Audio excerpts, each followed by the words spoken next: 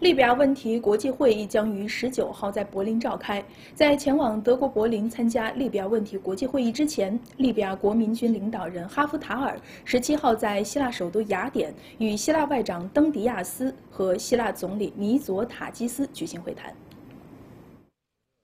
据希腊媒体报道，十七号在与希腊方面举行会谈之前，利比亚国民军领导人哈夫塔尔表示，自己来到希腊是为了讨论和平。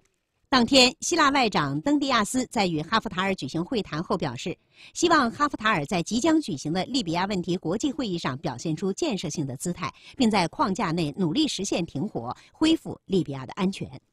登迪亚斯表示，希腊愿意向利比亚派兵，以监督利比亚民族团结政府和利比亚国民军兑现停火承诺。当天，希腊总理米佐塔基斯在与哈夫塔尔的会谈中谈及了关于土耳其与利比亚民族团结政府去年十一月签署的有关地中海海事管辖权的协议。米佐塔基斯赞同哈夫塔尔关于该协议的立场，认为协议无效。